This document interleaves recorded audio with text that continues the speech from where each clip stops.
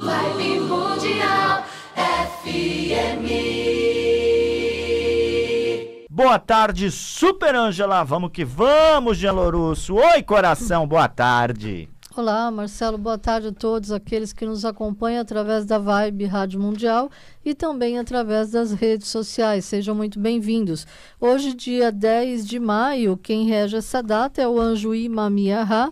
O seu salmo é o 7, a cor da sua vela é branca e o melhor dia para fazer a invocação deste anjo é as segundas-feiras. É o anjo que nos traz a paz, afasta a tristeza e a solidão. Salve, salve! Salve, salve, Ângela, o anjo do dia. Informações dadas. O seu horóscopo você ouve, compartilha, assiste quantas vezes quiser. Facebook, Anjos e Arcanos. Instagram, Anjos e Arcanos. Aqui, ligue e participa. 4 e 13, telefones do ouvinte Vibe, para te atender agora. 3171 0221. 3171 0221. 3262 4490. 3262 4490. Vamos atender, Jean Lourusso? Alô, boa tarde. Alô? Quem é? É Eidene. Ei, Dene. Isso. Ei, Dene, abaixa um pouquinho o seu rádio. Me diz de que bairro você fala. Eu falo de Franco da Rocha. Pergunte as cartas ciganas. E Marcelo, a pergunta é para minha mãe. Sim.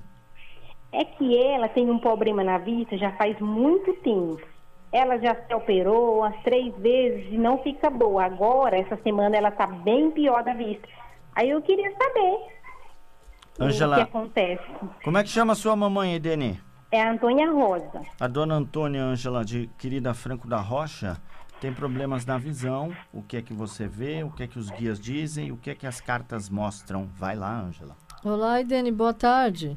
É boa tarde, Anja. É um prazer falar com você. Muito obrigado, eu agradeço seu carinho, sua audiência. É, qual caminho você escolhe? Direita, esquerda ou meio do leque? Eu escolho direito. Vamos ver então como está a saúde, o espiritual e o que, que a gente tem aí a nível de previsão para sua mãe. É, espiritualmente ela está bem, tá? Não é um problema de ordem espiritual, infelizmente é um problema de ordem físico mesmo, viu, Idene? Então, onde ela precisa seguir a risca aí o que os médicos aconselharem, aquilo que for proposto a nível de tratamento, de acompanhamento médico, seguir tudo a risca bonitinho. É, infelizmente, eu não vejo uma melhora para já, tá? As cartas que saem representam ainda um processo de bastante é, de sofrimento, né? Por conta dessa situação, um desgaste emocional, psíquico, né? Por conta de tudo isso que ela vem vivendo no corpo físico. Mas é preciso persistir, tá, Idene? É o que as cartas aconselham. É preciso persistir, insistir em um tratamento que seja mais eficaz, algo que a médio a longo prazo possa trazer ao menos um conforto para ela. Ok? Não Ok. vejo, a- todavia, a- uma cura, mas existe sim a possibilidade de ela sair da crise. Isso já é muito bom, tá bom?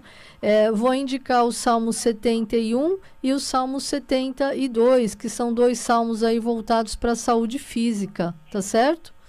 Tá. Um beijo para você, um beijo para sua mãe, minha querida. Boa sorte, melhoras para ela.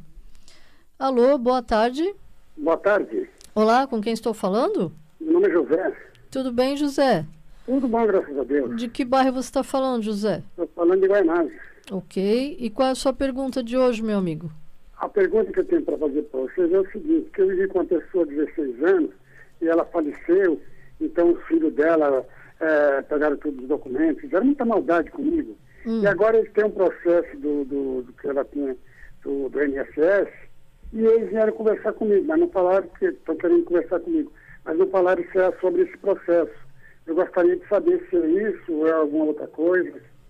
Vamos lá, então. Qual caminho você escolhe? Eu escolho da direita. Vamos lá. Caminho da direita. Vamos ver essa questão, como você está espiritualmente. Espiritualmente você está bem, tá, José? Graças a Deus não há nenhum problema de ordem espiritual. E sim, o assunto o qual eles vieram até você é por conta disso, tá? É, possivelmente algum papel, algum documento, alguma assinatura sua, alguma coisa nesse sentido que é necessário, tá? É, mas sim, o assunto é esse. Não vejo maiores complicações aí para você, tá bom, meu amigo? Então não tem por que se preocupar. Vejo sim que será um diálogo franco, aberto, onde haverá um bom entendimento e, lógico, algum tipo de acordo, tá? É, o que eu, que eu entendo aqui, José, é que é bem, bem possível que eles precisam de algum tipo de documento ou assinatura sua. Entendeu, meu amigo? Entendi. Tá, mas tudo será resolvido, pelo que eu entendi aqui, com um bom acordo. Tá certo? Ok, muito obrigado. Nada, meu amigo. Pode fazer o Salmo 17 e o 26, tá bom? Ok. Um abraço, fica com Deus, tudo de bom. Ângela, para agendar consulta com você, O telefone do espaço é o 3868 3302. Repetindo para você, 3868 3302. Por enquanto estamos atendendo online, mas em breve estaremos aí presencial novamente. consultas por telefone, WhatsApp vídeo, WhatsApp áudio do conforto do seu lar, sua empresa. 3868-3302, curso de tarô totalmente online, com apostila, os 22 arcanos maiores, dia 22 de maio, sábado. A aula começa às duas da tarde num grupo fechado do Facebook. É bom, é barato e dá para parcelar em três vezes no cartão. Tá interessada? Tá interessado? Quer ingressar no mundo do esoterismo? Quer tornar-se uma terapeuta holística, um terapeuta holístico? Vem com a gente. Anjos e Arcanos, curso de tarô, dia 22. Arcanos maiores apostilado. É com a Vivi, nossa secretária, as demais informações, marcações, inscrições com a Ângela, comigo. Liga 0 operadora 11 3868 3302, botão de WhatsApp para quem está aí no Facebook, Instagram, os telefones estão na tela, é só ligar. 3868 3302. Faça parte das nossas famílias, redes sociais, Facebook, Anjos e Arcanos, Instagram, Anjos e Arcanos. Alô, boa tarde. Boa tarde. Quem é? É Maria, De onde, Maria? De Jundiaí. Seja bem-vinda, Nenê. Tudo bem? Obrigada, tudo bem? Vamos que vamos com força e fé e saúde, bebê. Pergunte as cartas ciganas Super Maria de Jundiaí. Vou perguntar. Eu acho que só vocês podem me ajudar, viu? Vamos lá, vamos ver. Eu tô com a minha vida muito enrolada, tô endividada, não consigo sair desse, desse meio aqui, desse rolo, não sei mais o que eu faço. Tô perdida. Ajuda Maria de Jundiaí, Ângela. Plano mental, conselho geral para ela e o espiritual naturalmente. Boa tarde, Maria, seja bem-vinda. Boa tarde, bem, obrigada. Vamos ver isso. Qual caminho você escolhe? Direita, esquerda ou meio do leque? Esquerda. A Esquerdo. esquerda do leque. Vamos ver. É, Maria, o problema não é de ordem espiritual. Infelizmente houve aí um desequilíbrio, né? Houve um, uma fase em que você perdeu um pouco as rédeas da situação. Houve um descontrole, então. Exatamente, Macumba Marcelo. não é. Não é macumba, não Graças é um a problema. Deus, né? Sim, isso é muito bom. Infelizmente, aí só a má administração. Exato. E agora, o que, que você precisa fazer, Maria? Você vai precisar replanejar tudo, tá? Pôr tudo na ponta do lápis, com muita atenção, com muito cuidado, se possível, se isso for possível, se estiver no seu alcance, pedir ajuda a alguém da área financeira para te dar um suporte nessa questão, né? Que eu vejo que o mais está te afligindo no momento é isso.